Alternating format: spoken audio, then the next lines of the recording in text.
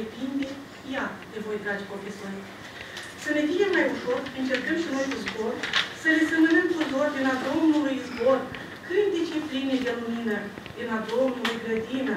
Pentru tot îl mulțumim, foarte mult vă prețuim. Fără așa un profesor, mare lume viitor. Fără așa un profesor, n-are lume viitor, n-au copii viitor, noi nu avem viitor.